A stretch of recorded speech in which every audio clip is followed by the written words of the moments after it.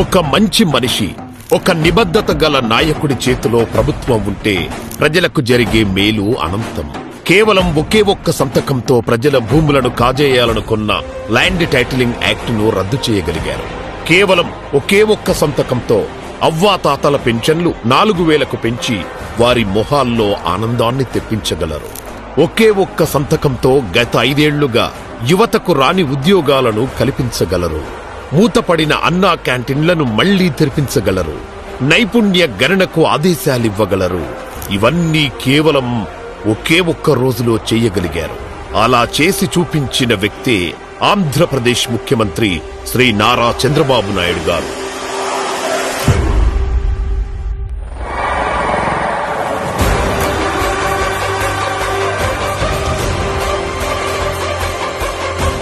ఆయన అధికారంలోకి వచ్చి కేవలం వంద రోజులే అయ్యింది. కానీ ఆయన సాధించిన విజయాలు మాత్రం వందలు దాటాయి. ఒకటో తారీఖునే ఉద్యోగులకు జీతాలు వస్తున్నాయి. ఒకటో తారీఖునే పేదల ఇళ్ళకు వెళ్ళి మరీ పింఛనిస్తున్నారు రాష్ట్ర వ్యాప్తంగా వంద అన్న క్యాంటీన్లను పునరుద్ధరించారు. చేనేత వృత్తిదారులకు జీఎస్టీ ఎత్తివేశారు. పేదల గృహ నిర్మాణానికి యాభై వేలు అదనంగా ప్రకటించారు. రైతులకు పదహారు వందల డెబ్బై నాలుగు కోట్ల ధాన్యం కొనుగోలు బకాయిలు తీర్చి ఆదుకున్నారు. రోడ్ల మరమ్మతులకు ఐదు వందల కోట్లు మంజూరు చేశారు.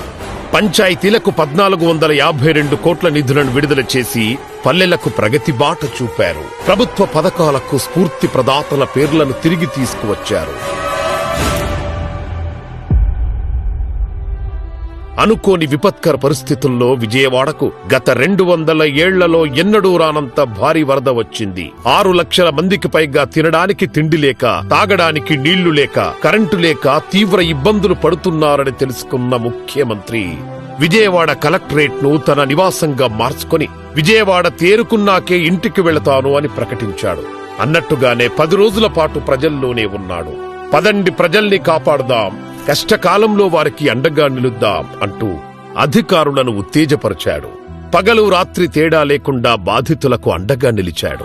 విజయవాడ ప్రజలను ఎలా కాపాడాలో ప్రణాళికలు రచించి అవసరమైన బలగాలను బోట్లను రప్పించాడు. ప్రతి ఒక్క విషయాన్ని దగ్గరుండి పర్యవేక్షిస్తూ నిరంతరంగా పనిచేసి విజయవాడను తిరిగి మామూలు స్థితికి తీసుకొచ్చారు. వరద బాధితులకు తోచిన సాయం అందించండి అని ఆయన ఇచ్చిన ఒక్క పిలుపుతో దేశవ్యాప్తంగా ఎందరో సౌహృదయులు ముందుకొచ్చి సీఎం రిలీఫ్ ఫండ్కి తమ వంతు విరాళాలిచ్చారు.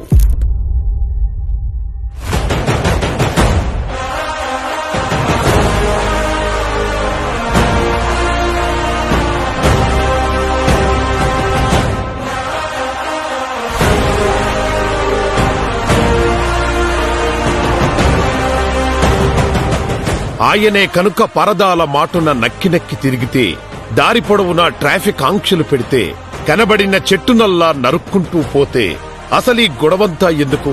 హెలికాప్టర్ ఎక్కి గాల్లోనే రెండు చక్కర్లు కొట్టి వెళ్ళిపోదామనుకుంటే బాధితుల పరిస్థితి ఏమై ఉండేది? ప్రజలు ఆయన్ను అంతకు ముందున్న పరదాల రాయుడిని పోల్చి చూసుకున్నారు. ఆ తర్వాతే నాయకుడంటే ఇలా ఉండాలి అని ముక్త కంఠంతో అంటున్నారు. అందుకే రాష్ట్రమంతా అంటుంది ఇది మంచి ప్రభుత్వం.